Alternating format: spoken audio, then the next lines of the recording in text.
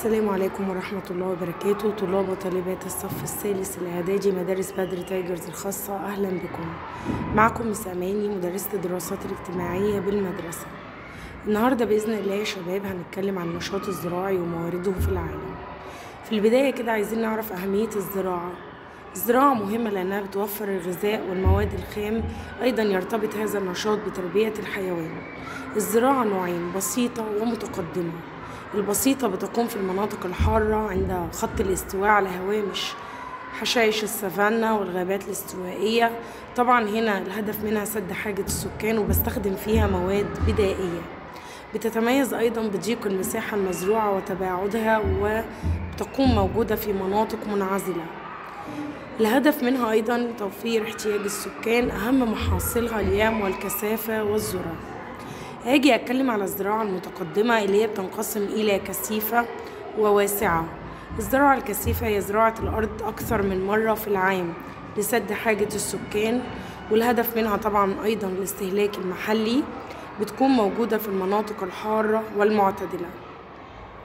طبعا هنا الزراعة الكثيفة بتكون تحتاج أيدي عاملة كثيرة وبيصعب فيها استخدام الميكنة الأيدي العاملة للبذر وتنقية الأرض من الحشائش. طبعا بيصعب استخدام الميكنة بسبب صعوبة أو بسبب ضيق المساحة المزروعة. طبعا الزراعة الكثيفة هنا أهم محاصيلها القمح والأرز والقطن. هاجي أتكلم على الزراعة التجارية أو الزراعة الواسعة بتكون موجودة في بعض قارات العالم كالولايات المتحدة. وجنوب شرق آسيا وأوروبا. طبعا بتهدف إلى التخصص في محصول واحد والهدف منها أيضا الإنتاج التجاري الضخم وبستخدم فيها الآلات الحديثة مما أدى إلى قلة التكلفة وقلة الاعتماد على الأيدي العاملة. لما أجي أتكلم بقى على الموارد الزراعية في العالم. أول مورد زراعي عندي محاصيل غذائية الحبوب عندي القمح والأرز والذرة.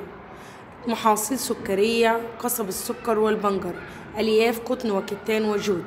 ومحاصيل ذات طبيعة خاصة اللي هي طبعا بتدخل في التجارة الدولية زي المطاط والشاي والبن. لما أجي أتكلم على القمح اللي هو طبعا بيعتبر غذاء رئيسي لسكان العالم لأنه يصنع منه الخبز والمكرونة والحلويات.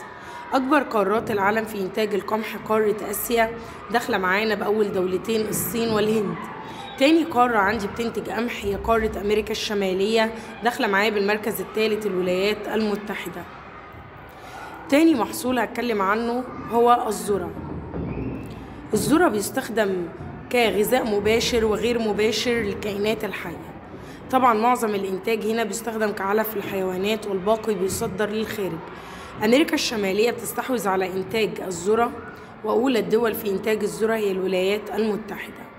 أما قصب السكر فهو من المحاصيل الأساسية لإنتاج السكر وهو محصول مداري هام بتنتجه جميع القارات ما عدا قارة أوروبا بسبب عدم ملائمة الظروف المناخية فيها.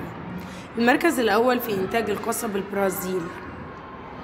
أجي أتكلم على البنجر هو المحصول الثاني لإنتاج السكر. طبعا البنجر بيزرع في مناطق معتدلة. لما أجي أتكلم على الإنتاج هلاقي إن أوروبا بتتصدر إنتاج البنجر في العالم. داخلة معايا بفرنسا تاني قارة بتنتج بنجر هي أمريكا الشمالية. داخلة معايا طبعا بالولايات المتحدة. بيزرع أيضا البنجر في قارة أفريقيا بمصر. إنتاج طبعا السكر المركز الأول في إنتاج السكر البرازيل وده طبيعي جدا لأن هي أيضا بتستحوذ على المركز الأول في القصب. لما أجي أتكلم على القطن هنا محصول مداري مهم جدا لإنتاج الخيوط. بيدخل في صناعة الملابس والمنسوجات وبستخرج منه زيت بذرة القطن والعلف. طبعا الإنتاج هنا عندي المركز الأول قارة آسيا بتنتج تلتين إنتاج القطن في العالم. داخلة معايا طبعا بدولة الصين والهند. أما المركز الثاني أمريكا الشمالية داخلة معايا طبعا بالولايات المتحدة. المركز الثالث أمريكا الجنوبية والرابع أفريقيا. بيتزرع القطن في أفريقيا في مصر والسودان. القطن بتاعهم جيد جدا وطويل التيلة وناصع البياض. هاجي اتكلم بقى على المطاط الطبيعي اللي هو بيعتبر من المحاصيل ذات طبيعة خاصة. محصول استوائي طبعا بيستخرج من عصارة شجرة استوائية وبيصنع منه إطارات السيارات. المركز الأول في إنتاج المطاط قارة آسيا طبعا أولى دول العالم في إنتاج المطاط تايلاند. لما أجي أتكلم على الشاي هو نبات دائم الخضرة. أول مرة ظهر كان في شرق آسيا. طبعا هنا الشاي بيحتاج إلى تربة خفيفة ومناخ حار وهواء رطب ومطر غزير. أكبر دول العالم في الإنتاج هي دولة الصين. درس النهاردة خلص والمرة الجاية بإذن الله هنتكلم عن الرعي والإنتاج الحيواني. لنا لقاء والسلام عليكم ورحمة الله.